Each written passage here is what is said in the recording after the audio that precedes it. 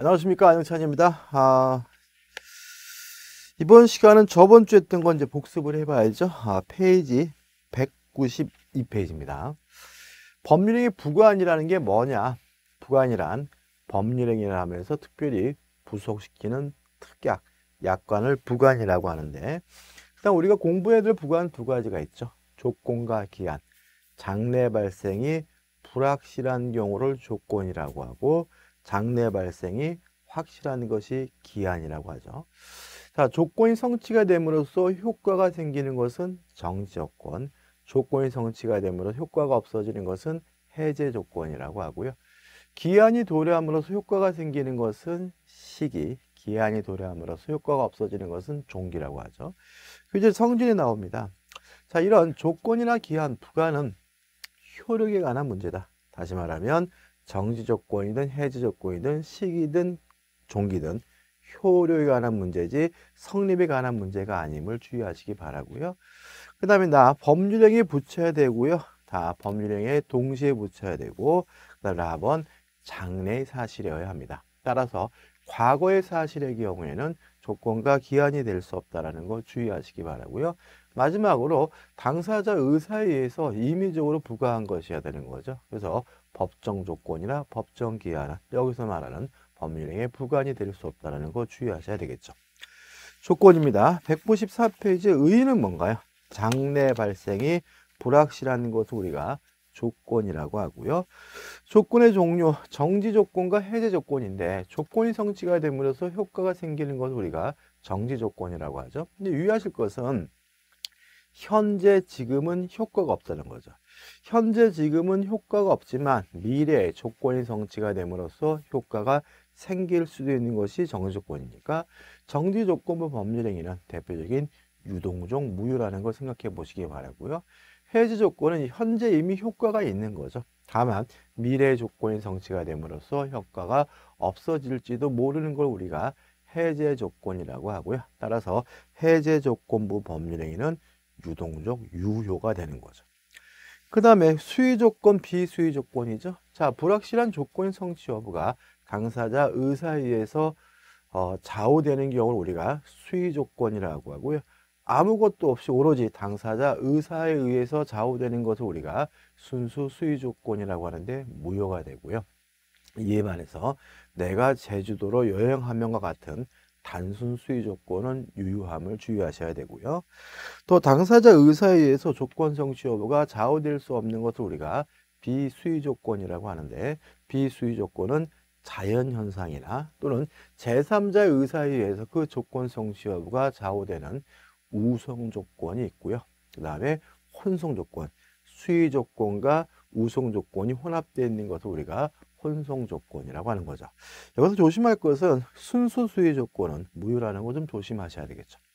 그 다음에 가장 조건입니다. 가장 조건이라는 것은 조건처럼 보이지만 실제는 조건이 아닌 것들을 말하는데 가 법정 조건은 조건이 아니다. 왜냐하면 조건이란 당사자 의사에 의해서 임의적으로 부과된 것이어야 되니까. 나 불법 조건, 조건이 반사회적인 경우를 의미하고요. 기억할 것은 뭔가요? 조건이 반사회적이면 조건만 무효인 것이 아니라 법률행위 전체가 다 무효가 되고요. 그 다음에 기성조건, 불능조건이죠. 자, 이미 성취된 조건을 우리가 기성조건이라고 하는데 외워야겠죠? 기, 정 조, 기해무. 기성 조건이 정규 조건이면 조건 없는 법률행위 기정조. 기성 조건이 해제 조건이면 무효 기해무가 되고요.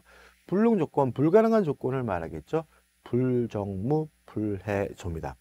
불능 조건이 정지 조건이면 무효, 불정무. 불능 조건이 해제 조건이면 조건 없는 법률행위 불해조가 되는 거죠. 그 다음에 조건을 붙일 수 없는 법률행위죠. 가족법상 행위는 조건을 붙일 수 없고요. 가족법상 법률에 조건을 붙이게 되면 반사회적이라는 이유로 법률행위 전체가 다 무효가 되고요. 또 단독행위도 원칙적으로 조건을 붙일 수는 없지만 상대방으로부터 동의를 얻는다면 승낙을 얻는다면 단독행위라 하더라도 조건을 붙일 수가 있고요. 그 다음에 유언, 채무 면제와 같이 상대방에게 이익만을 주는 단독행위는 조건을 붙일 수가 있는 거죠. 그 다음에 조건의 성취와 불성취죠. 조건 성취 의제입니다. 자, 신의 측에 반해서 조건을 성취를 방해했다면 조건이 성취됐음을 상대방이 주장할 수 있어요. 언제요? 방해가 없었다면 조건이 성취됐을 것으로 추정되는 시점이고요. 또 반대로 신의 측에 반해서 조건을 성취시킨 경우에는 오히려 상대방이 조건이 성취되지 않았음을 주장할 수 있다는 것도 주의하셔야 되겠죠. 일단 198조입니다. 자, 조건부 권리는 우리 민법 148조가 침해하지 말라고 금지 규정을 두고 있습니다. 따라서 이 금지 규정 때문에 우리 판례에 따른다면 조건부 권리를 침해하는 처분 행위는 일단 무효가 되고요. 다만 이 무효를 가지고 제3자에게 대항하기 위해서는 등기가 필요한데 이 등기는 가등기로 한다라는 거 기억해 두셔야 되겠죠. 그 다음에 조건부 권리도 일반 규정에 따라서 처분할 수 있고요. 상속도 되고 보존도 할 수 있고 담보로 제공하는 것도 가능하다는 거 기억해 두셔야 되겠죠. 그 다음에 뭐 199페이지 하단이죠. 자, 정지 조건이 성취가 되면 효과가 생기고요. 해제 조건이 성취가 되면 효과가 없어집니다. 주의하실 것은 소급하지 않습니다. 소급효가 없지만 다만 당사자 간의 특약으로 소급시키는 것이 가능하다는 것까지 기억하시면 되겠죠. 자, 이제 201페이지 기한이죠. 자, 장래 발생이 확실한 것이 기한이다. 기한. 자, 계정과 관련된 판례가 나오는데 첫 번째 판례.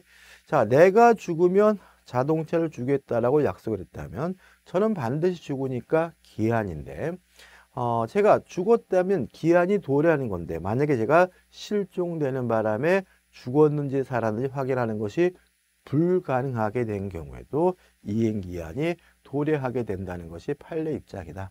그 다음에 4번. 자, 돈을 빌려주고, 어, 돈을 갚아야 되는데, 기간을, 기한을 연장해 줬어요. 어떻게 연장했냐면, 시험 볼 때까지라고 연장을 했단 말이죠. 근데 만약에, 가정을 하는 거죠.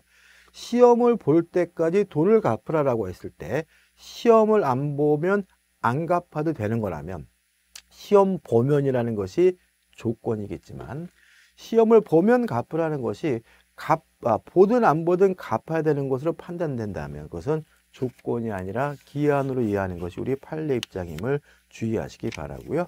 그 다음 4번 판례죠. 자, 장래 발생이 확실한 것이 기한입니다. 기한이 있어야 기간도 존재할 수 있는 거거든요. 따라서 임대차 계약을 하면서 임차인에게 매도할 때까지로 정했다면 그것은 매도할 매 임차인이 매수할 수도 있고 안 할 수도 있고 불확실한 것이기 때문에 조건이지 기한이 아니므로 요 임대차 계약은 기간에 약정이 없는 임대차를 평가하는 것이 우리 판례 입장이라는 거 조심하셔야 되겠죠. 종료, 효과가 생기는 기한을 시기라고 하고요. 효과가 없어지는 기한을 종기라고 합니다. 확정기한, 불확정기한, 내가 죽으면 너에게 자동차를 주겠다고 했다면 저는 반드시 죽으니까 그것도 기한이긴 하지만 언제 죽을지가 정해져 있지 않으니까 그런 것을 우리가 불확정 기한이라고 하는 거죠. 자, 조건과 마찬가지로 기한은 가족법상 법률행위에 기한을 붙일 수 없고요. 단독행위에도 기한을 붙일 수 없다는 거 기억해 두시면 되겠죠. 그 다음에 203페이지 기한부 법률 효력인데 일단 시기가 도래하게 되면 효과가 생기고요. 종기가 도래하게 되면 효과가 없어지게 되는데 소급하지 않고요. 당사자 간의 특약으로도 기한 도래 효과는 소급시킬 수 없다라는 거 꼭 기억해 두셔야 됩니다. 자, 204페이지죠. 기한의 이익입니다. 자, 기한의 이익이란 뭔가요? 기한의 기한이 도래하지 않음으로 해서 당사자가 받는 이익을 우리가 기한의 이익이라고 하고요. 일단 기한은 채무자에게 이익인 것으로 추정을 합니다. 다만 우리는 무상인 경우는 채무자만, 유상이면 채무자, 채권자 모두에게 무상 임치 계약의 경우에는 채권자만 기한의 이익이 있는데 임치 계약의 채권자는 임치인이 되고요.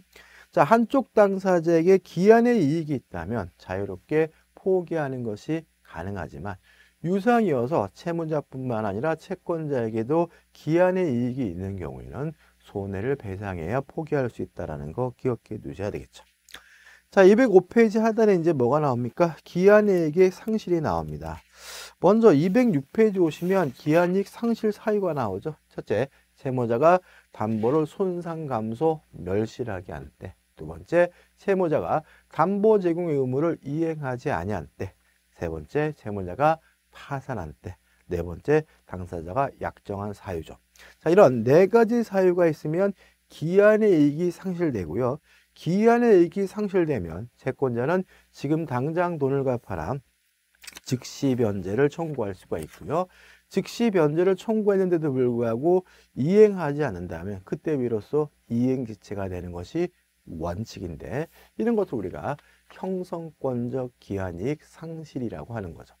만약에 기한이익 상실 사유가 있다는 이유로 바로 이행지체가 되는 경우를 우리가 정지조건부 기한이익 상실이라고 해요. 물론 원칙이 형성권적 기한이익 상실 사유이기 때문에 만약에 정지조건부 기한이익 상실 사유가 되려면 별도의 특약이 있어야 된다는 것까지 기억해 두시면 됩니다.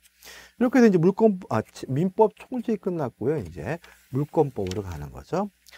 자, 210페이지입니다. 자, 물권법 총소리죠. 자, 일단 물권이 뭐냐? 물건에 대한 권리를 물권이라고 하는 거죠. 자, 물권의 특질입니다.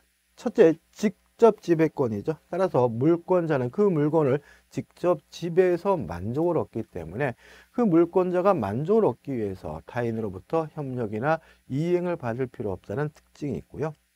또 배타적 지배권입니다. 따라서 똑같은 물건에 똑같은 내용의 물건이 중복해서 존재할 수가 없고요. 이걸 우리가 일물일권주의라고 하는 거죠. 또 물권은 절대권입니다. 따라서 물권은 모든 사람에게 주장할 수 있는 절대권이기 때문에 물권자는 자신의 물권을 가지고 제3자에게 대항할 수가 있고요.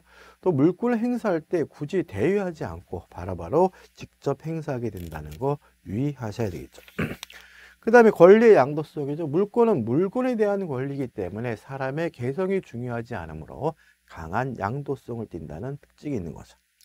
그 다음 물권의 객체입니다. 자, 물권의 객체는 원칙적으로 물건인 거죠. 왜냐하면 물건이란 물건의 물건에 대한 권리니까요. 그래서 213페이지죠. 더 뭐가 나옵니까? 물건이 나온 거죠. 자, 물건이 뭐냐? 유체물 및 관리 가능한 자연력이 물건이고요. 물건은 동산과 부동산으로 나뉘게 되는데 부동산은 뭐냐 하면 토지 및 그 정착물이 부동산이고 부동산 이외에 나머지 물건은 다 뭐가 되는 거죠? 동산이 되는 거죠. 물론 물건의 객체 물건이 되기 위해서는 현존하고 특정돼야 되고요. 독립한 물건이어야 됩니다. 자, 물건은 배타성을 띠고 있는 권리이기 때문에 한 개의 물건에는 어, 똑같은 내용의 물건이 중복해도 존재할 수 없고요. 이거 우리가 일물 일권주의라고 합니다. 그래서 내용이 나오는데 이거는 우리가 한번 쭉 보시면 될 것 같아요. 자, 이렇게 해가지고 우리가 저번 주 했던 거 한번 정리했고요. 어, 이번 주 진도는 어딘가요? 217페이지 물권의 종류, 물권 법정주의부터 다음 시간에 이어서 들어가도록 하겠습니다.